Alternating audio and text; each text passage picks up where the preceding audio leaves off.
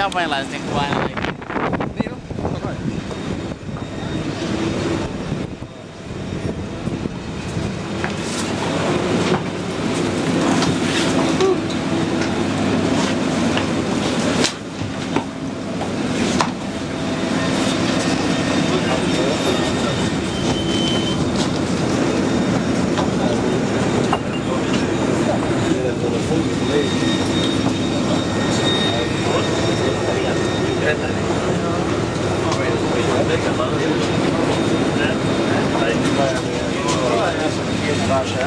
Tuntemukset.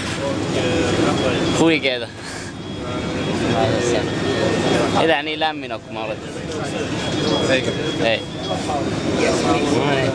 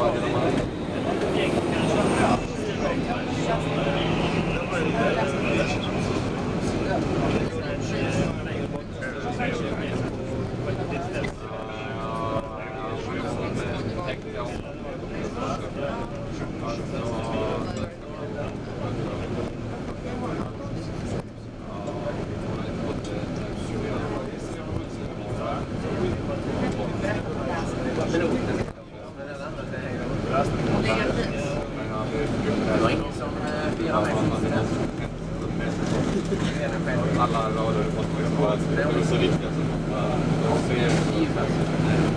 Gud vad jobbigt att is ready, which is railway bridge post-war period. There is World War II. I mean, there is, and another one is closer to it is being built. Automobile. It's going to be. So when we go to Moscow, St. Petersburg, there is Belarus or so. There is then we should cross this very uh, bridge and go to east and northeast. There is if it's from the city center. Now we're going along the Dnieper River. My question to you is how the river flows, like we go or in the opposite direction. The Dnieper River on which Kiev stands, and Kiev's growth owes very much to the Dnieper. And there were times when the Dnieper flew only along the uh, steep slopes. But from 1935, the Dnieper divides our city into two parts, where we are at the moment. One million people there is, and two million that historical part from where Kiev started in the 5th century AD. And it's exactly one, less than one week that we celebrated special Kiev Day. And for the first time, we did it in Soviet days, 1982. The first mention was 482 about Kiev, written mention that is in one of the chronicles. And uh, it became a very popular holiday. Look again left, and you see, you see the Dnieper River, and two are being built. Nine bridges are not enough for such a big city like ours. We extend almost 30 kilometers along the Dnieper River in the city, uh, but at least we are building them at the moment. And a lot of greenery that we can see left hand side. Part of it means one of the Iskuvolleen patsas. Joo, ja sitten kato Namikalle oma patsas tollanen noin. Tällainen neuvostotyylinen.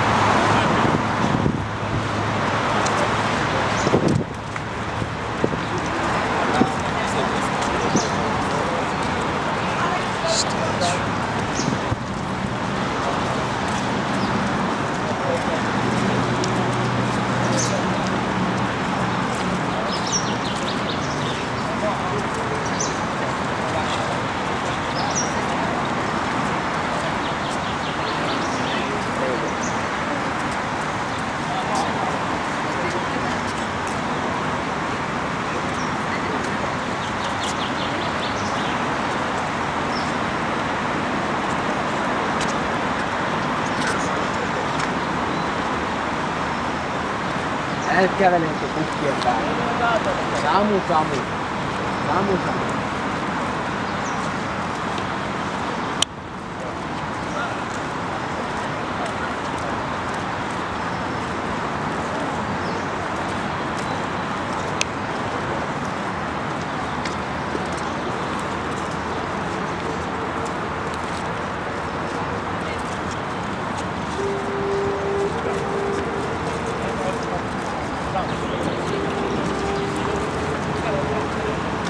Vi får hela svenska gänget framför det.